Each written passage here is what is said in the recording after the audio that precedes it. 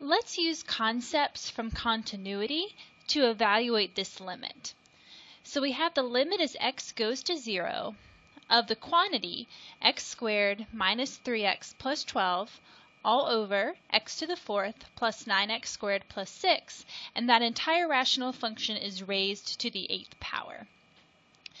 Okay, so before we actually take the limit, let's look at this function a little more in depth um, and see what we know about the function, and that'll help us take the limit. So the function I have here, I can think of it as a composition of two different functions. Okay, an inner function and an, and an outer function. So in this case, my inner function is this rational function here that I've outlined in green. So I'm going to call my inner function g of x. So this is my inner function, x squared minus 3x plus 12 over x to the fourth plus 9x squared plus 6. Okay, that's my inner function. Now, what's my outer function? Okay, well, my outer function is this part here where I'm raising the rational function to the eighth power. So if I wanted to write that, I would write it as x to the eighth. And then what I'm really asking, what I'm asking for the limit up here at the top, is I'm asking for the limit as x goes to 0 of f of g of x, the composition of those two functions. Okay, let's look at g of x and f of x a little closer now, these two functions that make up my composition. So what's g of x?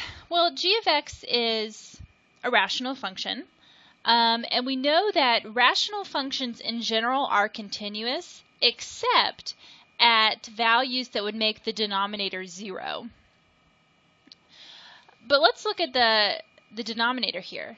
So I've got x to the fourth plus 9x squared plus 6. So is that ever going to be 0? No, it's not. So this rational function is continuous for all values of x.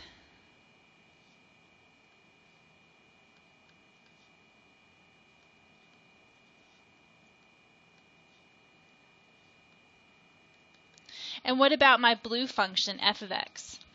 So f of x is x to the eighth. So that's just um, a number raised to a power. So I know that that's continuous for all x as well.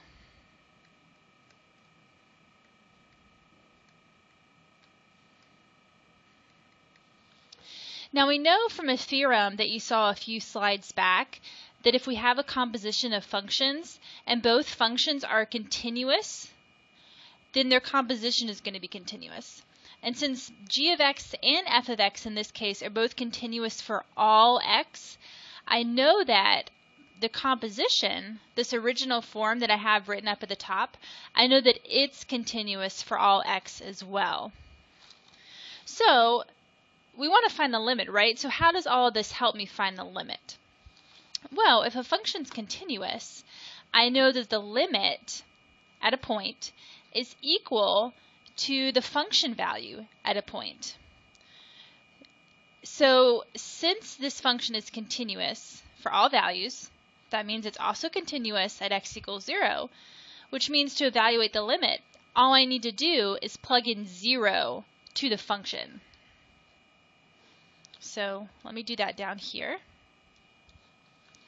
So basically what I'm saying is the limit as x goes to 0 of my function.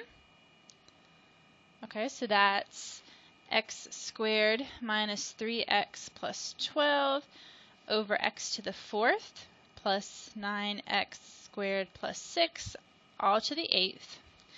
That limit is simply equal to the function value. So I just need to plug in 0. So 0 squared minus 3 times 0 plus 12 over 0 to the fourth plus 9 times 0 plus 6 all raised to the 8th power. So I get 12 over 6 to the 8th power or 2 to the 8th power. So in this case, I was able to use the fact that I know that this function is continuous um, to calculate the limit um, simply by plugging in x equals 0 to the function.